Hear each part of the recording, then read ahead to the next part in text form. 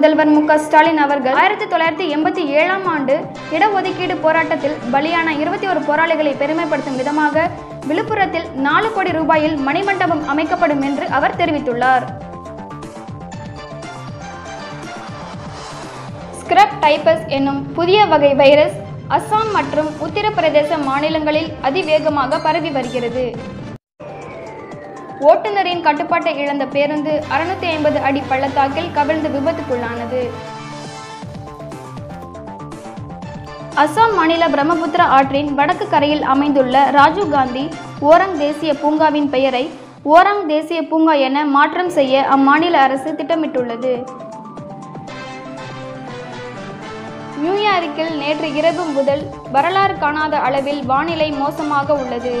மாகாணம் முழுவதும் பெய்த கனமழையால் சாலைகளில் வெள்ளநீர் சூழ்ந்து ஆபத்தான நிலை உருவாகியுள்ளது. தமிழகத்தில் மீண்டும் திரையரங்குகள் திறக்கப்பட்டன. இதனையடுத்து திரைப்படங்கள் அடுத்தடுத்து வெளியாகும் என்று எதிர்பார்க்கப்படுகிறது. ஆனால் ஓடிடியில் வெளியாகும் திரைப்படங்களை திரையரங்கில் வெளியிடப்படுவதில்லை என்ற முடிவை திரையரங்க உரிமையாளர்கள் எடுத்துள்ளனர்.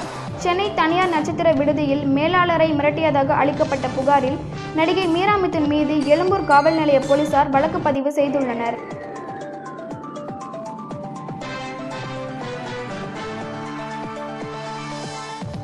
பணியின் போது உயிரிழக்கும் அரசு ஊழியர்களின் குடும்பத்துக்கு வழங்கப்படும் குடும்ப பாதுகாப்பு நிதி ரூபாய் மூன்று லட்சத்தில் இருந்து ரூபாய் ஐந்து லட்சமாக உயர்த்தி அரசாணை வெளியிடப்பட்டுள்ளது.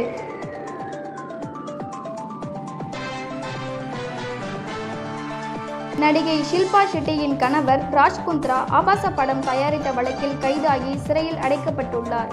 அவர் மீது மாடல் அழகிகளும் நடிகைகளும் தங்களை கட்டாயப்படுத்தி ஆபாச படங்களில் நடிக்க வைத்ததாக புகார் தெரிவித்து வருகிறார்கள். கச்சுப்பள்ளி கோவலன்காடு பகுதியைச் சேர்ந்த பாமக இளைஞர் அணி வே. கௌதம் அவரது அம்மா ஜெயக்கொடி மகன் வருண் மூவரும் பழனி செல்லும் போது தாராபுரம் பகுதியில் விபத்தில் சிக்கி சம்பவ இடத்திலேயே உயிரிழந்தனர். மதுபோதையில் காரில் வந்த சுதாகர் என்பவர் நடைபாதையில் நின்று கொண்டிருந்த வாட்ச்மேன் கண்ணன் என்பவர் மீது மோதி விபத்துக்குள்ளானதில் வலது கால் துண்டாகிவிட்டது.